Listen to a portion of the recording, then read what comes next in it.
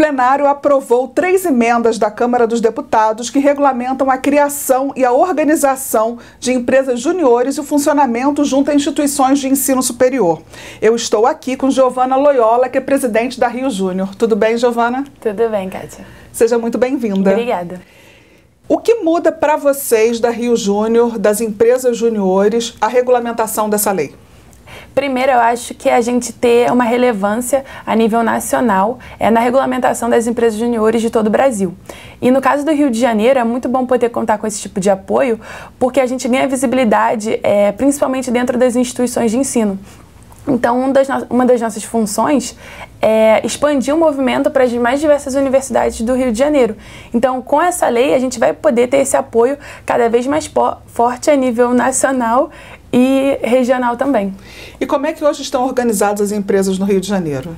Então, a gente tem empresas de vários segmentos, então, desde os cursos de administração, engenharia, é, psicologia, das mais diversas áreas, e elas se organizam por alunos de graduação dentro das universidades. E a gente tem apoio de professores, da, dos próprios diretores das universidades, com o objetivo de é, auxiliar na educação desses universitários para que eles possam futuramente ir para o mercado de trabalho mais preparado preparados para se tornarem para se tornarem bons profissionais.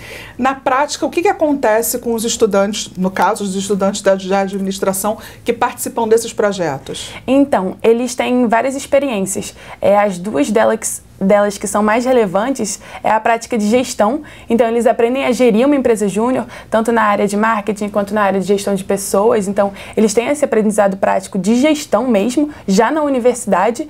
E eles também realizam projetos de consultoria para o mercado. Então, eles impactam o mercado à medida que eles auxiliam empresas a se estruturarem também. Então, eles têm um aprendizado muito forte nessas duas vertentes. Então, o estudante que participa, quando ele vai de fato para o mercado de trabalho, quando ele se forma, que ele se registra no CRA-RJ e que ele vai para o mercado de trabalho, ele já vai é, um profissional com uma experiência diferenciada daquele que apenas fez um, estado, um estágio nas empresas. Sim, porque ele tem um aprendizado muito prático e ele se sente muito dono da empresa júnior que ele está gerindo, porque ela é gerida por alunos de graduação. Então, ele tem um poder de atuação e de decisão que a gente acredita que vai formar ele muito melhor para que futuramente ele participe é, de alguma empresa sênior que queira abrir seu negócio, etc. Existe é, alguma bolsa, algum salário, alguma gratificação financeira? Não. Todos os é, participantes das empresas juniores, é, eles são voluntariados. Então, é, a gente participa sem nenhum recurso financeiro por trás disso. Mas a instituição, a empresa júnior, no caso, ela consegue dar algum auxílio se a gente tem que ir para fazer alguma reunião, se tem que é, fazer um projeto para um cliente, a gente recebe tudo aquilo que a gente gastou para realizar determinado projeto, para realizar determinada ação.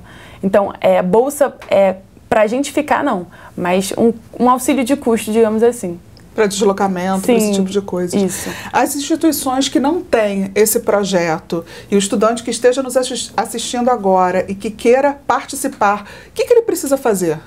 Ele precisa buscar é, a instituição de ensino e conseguir um apoio da instituição. É, esse é o primeiro passo, porque as empresas juniores, para elas, elas existirem, elas precisam primeiramente de um espaço físico.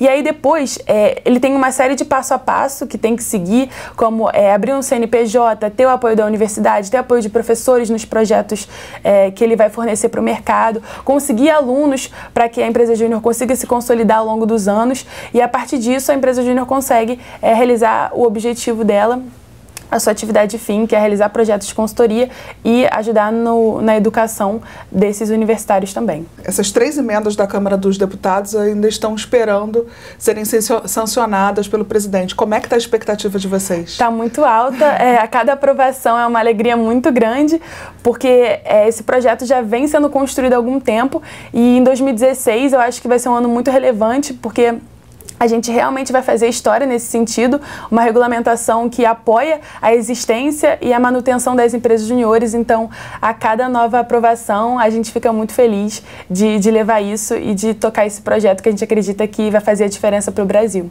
Você, como estudante, claro que fez parte de uma empresa junior, uhum. né? Como é que foi para você? É, quando eu entrei na empresa júnior, eu tinha um desafio muito grande que eu queria me desenvolver muito pessoalmente. Então eu tinha muita dificuldade para falar com as outras pessoas, para falar em público. E é, quando eu entrei, eu vi, eu tinha esse desafio para mim. Eu queria Foi muito, superado, muito... tá? Foi super superado. e aí eu tinha esse desafio que eu queria me desenvolver muito nesse sentido. E para mim foi um, uma vitória muito grande ter podido é, participar da minha empresa júnior, ter podido agora fazer parte da federação, ser presidente da federação. E eu acredito que o movimento Empresa Júnior faz isso. Ele pega as pessoas, ele consegue transformar essas pessoas e fazer elas é, traçarem caminhos relevantes na trajetória de vida mesmo. Bacana. Mais alguma coisa, Giovana, que você gostaria de compartilhar? Eu queria compartilhar que o Movimento Empresa Júnior ele tem como principal objetivo é, complementar a educação de todos os universitários do Brasil. Então, quem tem interesse, quem quer saber alguma coisa, quer criar uma empresa júnior de qualquer curso, é, a Rio Júnior está totalmente à disposição para isso e a gente acredita muito, muito que o Movimento Empresa Júnior, a nível fluminense, é, consegue fazer é, do Rio de Janeiro um estado mais empreendedor e, consequentemente, do Brasil, um país mais empreendedor também. Eu agradeço muito a oportunidade de estar aqui falando com vocês e me coloco à disposição. E a gente também deixa aqui a TV e a Rádio CRRJ à disposição para que vocês possam estar sempre munindo a gente de informações para que a gente possa compartilhar com os estudantes de administração.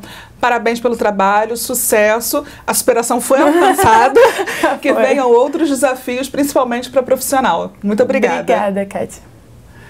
Eu conversei com a Giovana Loyola, que é presidente da Rio Júnior, aqui no Rio de Janeiro, no estúdio da TV e da rádio CRARJ.